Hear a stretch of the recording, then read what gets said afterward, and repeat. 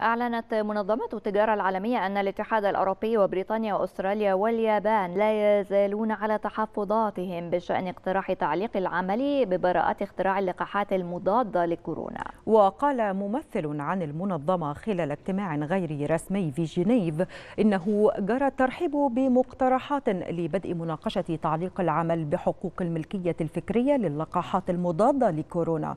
وتقود جنوب إفريقيا والهند حملة لتعليق العمل بحقوق الملكية الفكرية التي تحمي اللقاحات المضادة لفيروس كورونا.